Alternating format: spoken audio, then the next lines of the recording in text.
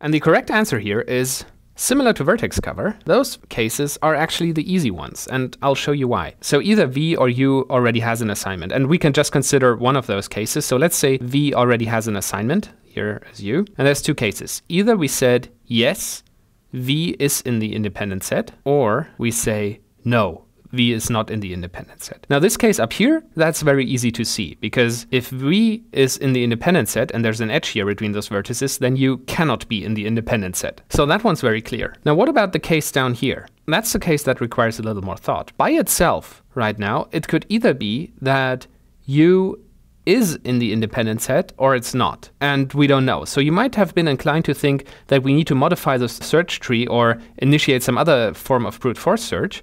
But actually that's not necessary. And I will show you why. This vertex u here, there's two possibilities. So if u is not connected to any other vertices, so let's say all other vertices in the network are independent of u, then we can put u into the independent set without having to think, because we're looking for a maximum size independent set this is the only connection that U has to other vertices. Why not just take it? Doesn't really cause any other conflicts. Now, what if U is connected to other vertices? And here there's three different possibilities.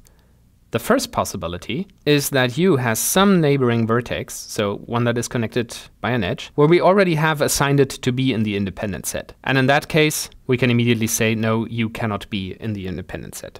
We must assume that none of these vertices here is already in the independent set. So now there's two different cases. One is that one of these vertices here has not yet received an assignment. And in that case, we don't have to worry about modifying the search tree because now we're looking at a case like this here again. So we can use our standard search tree to search through assignments for these two vertices here. If every vertex here, on the other hand, already has an assignment, then we just discussed, because we just dealt with the other case, that all of these assignments here must be a zero. So all of these vertices here, and there can be more of course, are not part of the independent set. And that means that we can take U into the independent set again. It might not have been obvious uh, in terms of thinking it through what to do in this case, but for an algorithm, we can design it in a way so that the algorithm always knows what it is to do. First of all, it looks for edges where both vertices do not have an assignment.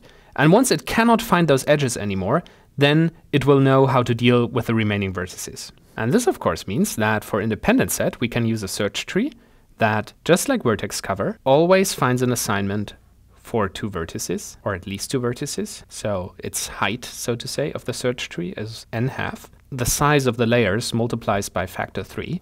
So the size of the overall tree is 3 to the power of n half. For independent set, we have a search tree of size 1.7 3, 3 to the power of n. Just like vertex cover, the calculation here is the same. And because independent set and clique are so similar, we just have to transform the network to the inverse network, as you remember hopefully from the first unit. We also have a search tree of size 1.733 to the power of n for clique. Just like Alice, no reason to be super happy, but Bob and Carol can be a little happier now. And of course, we're going to go on investigating.